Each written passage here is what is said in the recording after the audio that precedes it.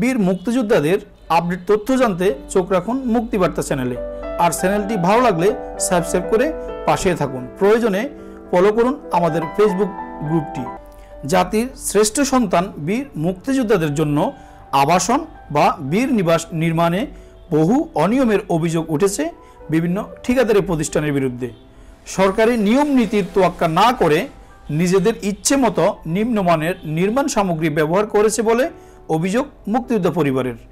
বিভিন্ন উপজেলা প্রকল্প বাস্তবায়ন কার্যালয় থেকে জানা যায়, মুক্তিযুদ্ধ বিষয়ক মন্ত্রণালয়ের গত দুই হাজার বিশ থেকে দুই অর্থ বছরে বিভিন্ন উপজেলায় নথিভুক্ত বীর মুক্তিযুদ্ধ পরিবারকে আবাসন বা বীর নিবাস নির্মাণের জন্য পর্যাপ্ত পরিমাণ টাকা বরাদ্দ প্রদান করে।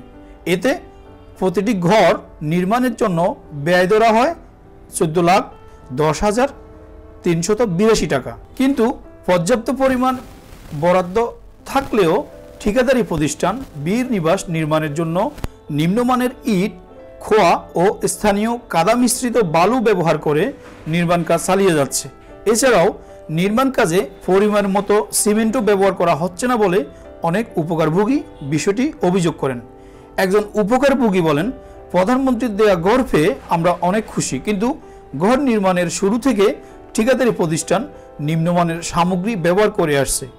বীর নিবাসের এই নির্মম অবস্থার উন্নতির জন্য প্রশাসনের দৃষ্টি আকর্ষণ করছি।